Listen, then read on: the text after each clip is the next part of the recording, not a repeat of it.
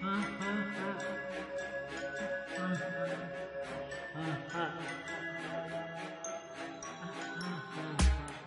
dacht elke dag dat hij dat normaal doen mag. Bang dat hij dat nooit zal zijn. Wie zal zijn volgende slachtoffer zijn?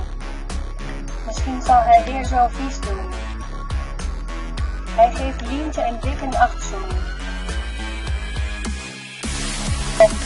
Normaal na tot niet zo'n seksistisch lawaai. Wat heeft Barbie jou ooit aangedaan?